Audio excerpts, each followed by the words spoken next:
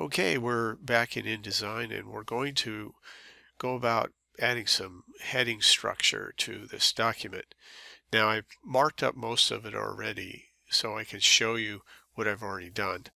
So this particular element is going to be the text for my main heading or heading 1. So I'm going to show you when I highlight it and I come over here to paragraph styles and click, you see that it corresponds to the heading tag.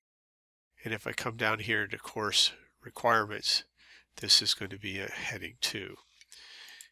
Now further down in this area, I have some heading 3s. And each of these I had to create.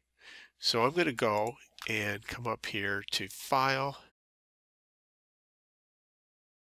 Document Setup, and add a page.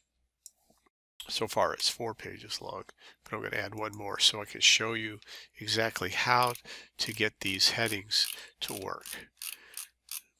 Now I'm down here and I'm going to click on the text tool and drag a box so I have a text area to type and then I'm going to type a test heading. Okay, so once you have the text, basically all paragraphs start off with this basic style and you highlight the text, you can come up here, click on this A, and it will show you all the different sizes and the kerneling and all that, and line spaces between the paragraphs basically. And you're going to come up here to change your font to whatever heading you want. And we'll just use this Rockwell extra bold and make it like 24 point. Now, one of the things I do like about this, other than the fact that it's kind of difficult to learn it at first, is that you can make several tags that say H2, but you can specify, like this one, I could call it Rockwell.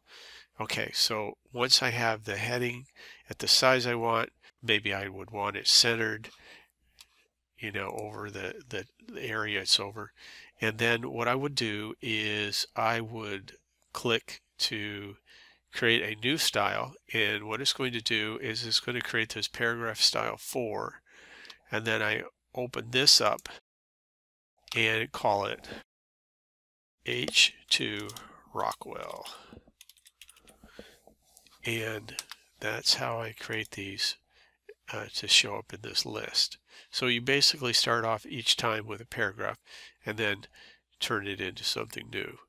Now if I go to any of the headings that were previously in here, like this one, I can now just select from this and it turns it into that format.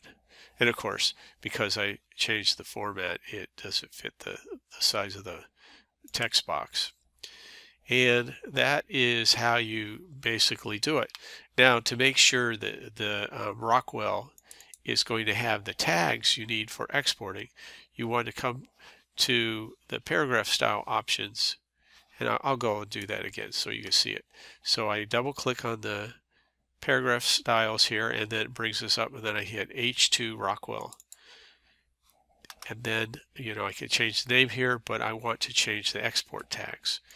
So the export tags for EPUB and HTML are automatically set.